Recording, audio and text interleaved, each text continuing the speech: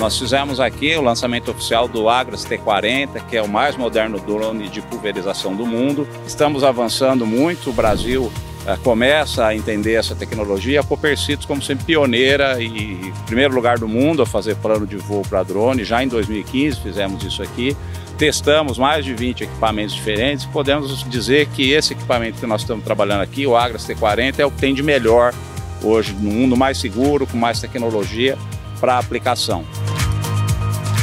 Com essas tecnologias, né, o importante é que a gente vai permitir o produtor aumentar a sua produtividade. São tecnologias disruptivas, aonde que o produtor hoje consegue através da cooperativa ter muito fácil acesso, né? E o que a gente atua mais, muito forte com esse produtor é na capacitação do time dele, que a gente deixa o, o operador desse produtor rural, né, totalmente preparado e capacitado para usar essas novas tecnologias.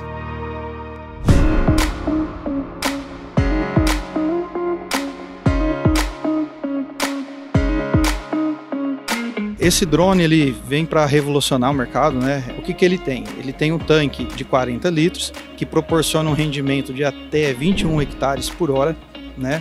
Por bateria, em 7 minutos ele consegue fazer é, 2,6 hectares. É um drone também que possibilita é, você trocar o tanque de líquido para sólido e fazer a dispersão de fertilizantes granular onde ele pode é, é, ter uma autonomia também nessa distribuição de até 1,5 toneladas é, de fertilizante horas e também para o manejo de pastagem, né, para plantio de braquiária, de sementes. É um drone que a gente está trabalhando onde consegue também utilizar para essa finalidade.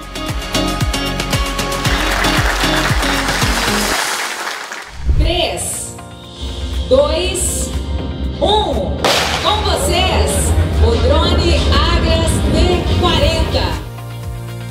É importante o evento para a gente tirar as dúvidas, né? E sanou minhas dúvidas. Vai ser bastante eficiente na propriedade, sim. É, eu vim para prestigiar e para adquirir conhecimento. E, e pelo que eu percebi, foi bem convincente. Os drones estão igual aparelho de celular, né? A cada versão que vem, vem mais moderno, e a gente acabou de ter o, comprar um T30 e já olhamos o modelo novo falou, vamos ter que fazer o upgrade em breve, porque realmente chama muita atenção. Achei um evento bastante chamativo e a respeito do equipamento eu achei bem interessante vir ver de perto como é que é a funcionalidade dele. Gostei bastante, tanto é que adquiri três equipamentos desses.